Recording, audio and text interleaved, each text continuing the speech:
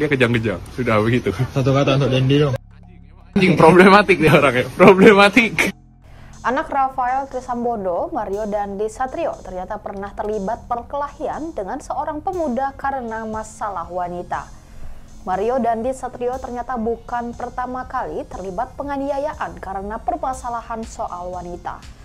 Seorang pemuda diduga musuh Mario mengungkapkan jika anak mantan pejabat pajak tersebut sempat punya masalah lain dengannya yang berujung pertengkaran.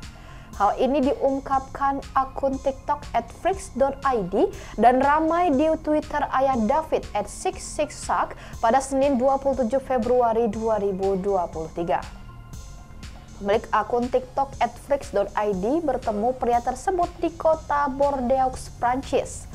Pria bertopi hitam dalam video itu menceritakan awal kisahnya sebelum terjadi perkelahian dengan Mario Dandi Satrio.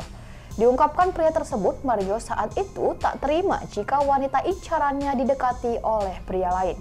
Aksi pertengkaran pun terjadi hingga membuat Mario Dandi kalah dan kejang-kejang. Atas kejadian serupa yang dialami kembali oleh Mario tersebut, pria yang belum diketahui identitasnya tersebut menyimpulkan jika Mario Dandi Satrio sebagai orang yang problematik. Ikuti terus berita menarik lainnya, jangan lupa like dan share seluruh akun Tribun Medan.